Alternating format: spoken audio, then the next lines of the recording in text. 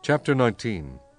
Thus saith the Lord, Go and get a potter's earthen bottle, and take of the ancients of the people, and of the ancients of the priests, and go forth unto the valley of the son of Hinnom, which is by the entry of the east gate, and proclaim there the words that I shall tell thee, and say, Hear ye the word of the Lord, O kings of Judah and inhabitants of Jerusalem.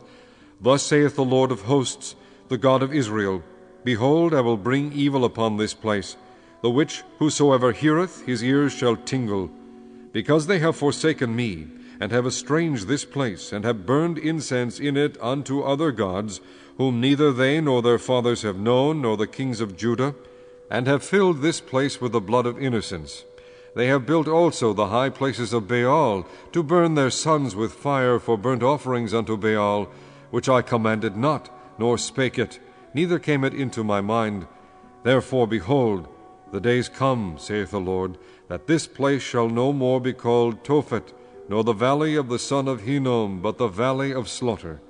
And I will make void the counsel of Judah and Jerusalem in this place, and I will cause them to fall by the sword before their enemies, and by the hands of them that seek their lives. And their carcasses will I give to be meat for the fowls of the heaven, and for the beasts of the earth.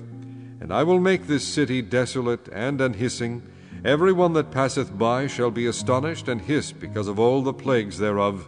And I will cause them to eat the flesh of their sons, and the flesh of their daughters, and they shall eat every one the flesh of his friend in the siege and straitness, wherewith their enemies, and they that seek their lives, shall straiten them. Then shalt thou break the bottle in the sight of the men that go with thee, and shalt say unto them, Thus saith the Lord of hosts, Even so will I break this people and this city, as one breaketh a potter's vessel, that cannot be made whole again.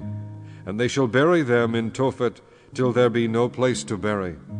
Thus will I do unto this place, saith the Lord, and to the inhabitants thereof, and even make this city as Tophet.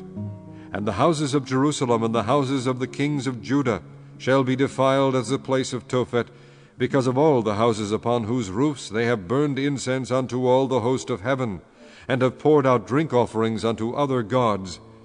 Then came Jeremiah from Tophet, whither the Lord had sent him to prophesy, and he stood in the court of the Lord's house, and said to all the people, Thus saith the Lord of hosts, the God of Israel, Behold, I will bring upon this city and upon all her towns all the evil that I have pronounced against it,